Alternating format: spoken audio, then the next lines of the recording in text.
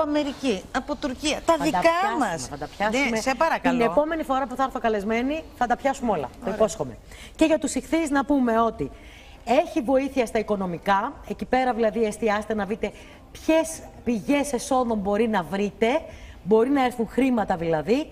Η καριέρα θα εξακολουθήσει να σας προβληματίζει. Δεν είναι μια περίοδος που θα ακούσετε πολλά μπράβο. Είναι μια περίοδος που χτίζεται ακόμα. Θα μου πεις, μπορεί να έχω φτάσει 50 χρόνια, χτίζω. Χτίζεις ακόμα.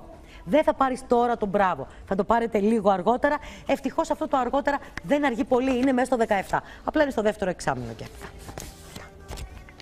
Αυτά Χάρηκα να είχαμε και πάρα τόσα πολύ. άλλα που και Ε, εγώ θα χάρηκα, ξανάρθω. βράση μου. Ναι, θα Αφού το ξανάρθεις. ξέρεις. Πότε, το- Όποτε θες. Ναι, αυτό είναι δέσμευση, γιατί το λες και δημόσια. Εντάξει, Το λέω καλύπτομαι. δημόσια και το έχω πει ούτως ή άλλως. Όποτε θες. Μου λείπεις. Και εμένα. Μου. Αλλά είπαμε.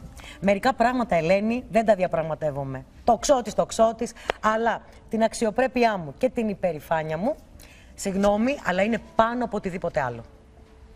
Το κατανοώ. Και επειδή αυτά θύχτηκαν, δεν γίνεται να έχουμε άλλη σχέση. Όμως, it's okay. Εγώ ευχαριστώ πάντα τους ανθρώπους, ακόμα και με αυτούς, και αυτούς που έφεραν στη ζωή μου δύσκολα, αυτούς που μπορεί να μην με εκτίμησαν, γιατί πάντα αυτοί είναι εκείνοι που με έσπρωξαν να πάω ένα βήμα μπροστά.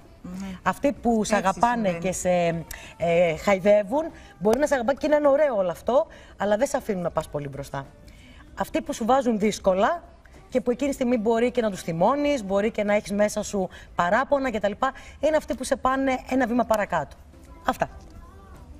Αυτά. Πώς τα ακούσατε; Άστρα μην με μαλώνετε. Μη μου ξεχάσεις Φιλιά. τα χαρτάκια Όχι, όχι, μου. όχι. όχι. Σε ευχαριστώ πάρα πολύ. Τα ξαναλέμε Φιλιά. σύντομα γιατί έχουμε Έγινε. πάρα πολλά να πούμε και πραγματικά πολύ σε ευχαριστηθήκαμε. Καλή σεζόν. Καλή μας σεζόν, ναι. Να την. Να το το κορίτσι μου.